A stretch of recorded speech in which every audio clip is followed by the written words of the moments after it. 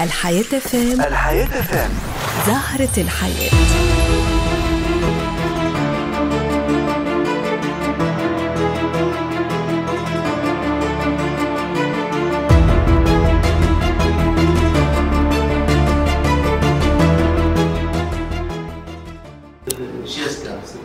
اللي خلتنا على الأقل نكون نتلموا وهذه شرف لي الشباب باش نتم مع مباراه مباراه مباراه وإحنا ديما نقولوا قبل كي تمشي للدار تدخلها من بابها وكي تمشي للبلاصه تدخلها من المباراه وهذا شرف لي ونعتز بك دور تنسيق في الحوار تجربة خيريه تجربة عقلتنا على برشا ناس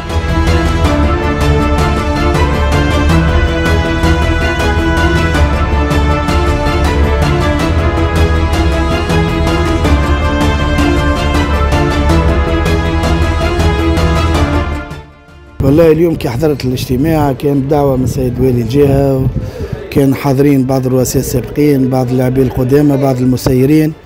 كان من أجل تدارس وضعية شبابة وإيجاد حلول للفراغ هذا والعزوف عن التسيير.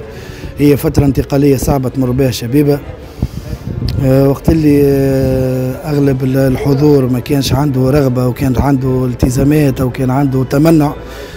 ورغم التزاماتي المهنية واللي أنا أقيم بالعاصمة وعندي تعرفوا اللي ماهوش بالساهل تسيير جمعيه في الظروف هذه استجابة لرغبة الحضور والسلطات الجهوية اللي وعدوا بالدعم وإن شاء الله اللي يقفوا مع الجمعية في الفترة القادمة.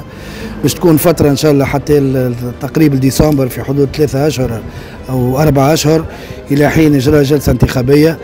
توا الجمعية عندها استحقاقات عندها بداية موسم عندها تحضيرات. إن شاء الله نلقاو دعم كما لقينا الكلام. الناس كل تقف مع جمعيتها. الجمعيه ماهيش إشخاص ماهيش رئيس.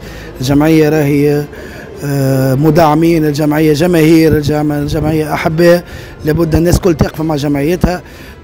تنتفي المصالح الشخصية قدام مصلحة الشبيبة.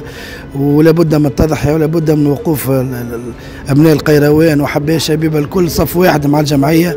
إلى حين إن شاء الله نتعداو الفترة هذه وإن شاء الله في المستقبل نلقاو هيئة منتخبة اللي قادرة باش تسير الجمعية على المدى المتوسط والمدى البعيد إن شاء الله. أكيد فما أسماء اللي خدموا معايا قبل باش نتصل بهم إن شاء الله يكونوا متحمسين. إن شاء الله أنا آه، عندي فيهم ثقة ونعرفهم اللي هم يلبيوا يلبيوا نداء الواجب. كنا خدمنا مع بعضنا أربع سنوات ونعرف حبهم وغيرتهم على الجمعية. إن شاء الله يكونوا متحمسين. وهي لابد الناس كل تضحي من أجل الشبيبة. وبقدرة ربي إن شاء الله تتكون الهيئة التسييرية في أقرب وقت ممكن إن شاء الله في غضون 48 ساعة القادمة لأنه توا ما عادش وقت نجموا نضيعوه لابد توا من بداية العمل وبداية تحضير الموسم باش يكون صعب على جميع المستويات. الحياة فام الحياة فام زهرة الحياة.